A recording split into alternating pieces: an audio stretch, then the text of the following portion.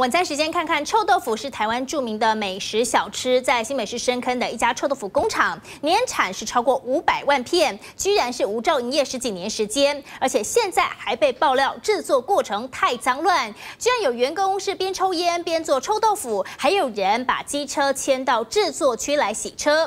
负责人承认卫生管理有问题，也被卫生局开罚六万块钱。而这家工厂呢，是提供给深坑老街的摊贩，也因此消息。一曝光，让靠着臭豆腐打响名号的深坑老街生意是大受影响。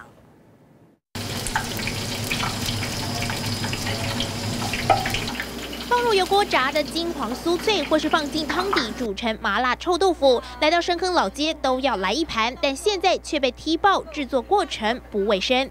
周末假日天气湿冷，不过老街越晚人越多。尽管臭豆腐卫生有疑虑，但游客反应两极。哎，好吃啊！对，那今天还是会去吃吗？应该是会啦。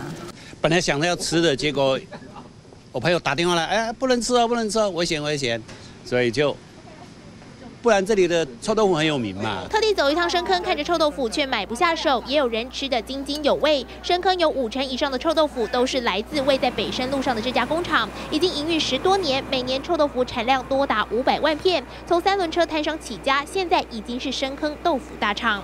不过实际走访工厂，地板墙面都是污垢，制作豆腐的机器上面还堆积垃圾，整个环境脏乱不堪。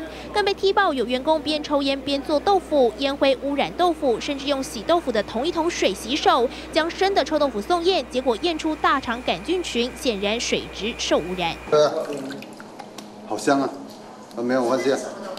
这叫蔬菜花下出来的水啊，这泡豆腐用的。员工力挺当场喝制作臭豆腐的水，强调天然干净。但新北市卫生局两度派员稽查，发现工厂环境脏乱，食材没有离地，门口没防尘帘，没做病媒蚊防治，员工体检也没记录。我们深坑老街会所有店家串联，不再使用他们的臭豆腐。只有卫生，只有卫生问题而已，其他都没有。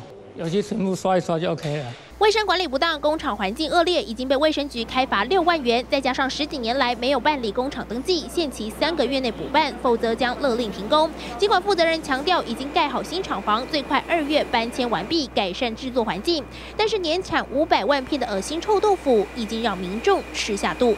记者刘世伟温散 S 小组新北市报道。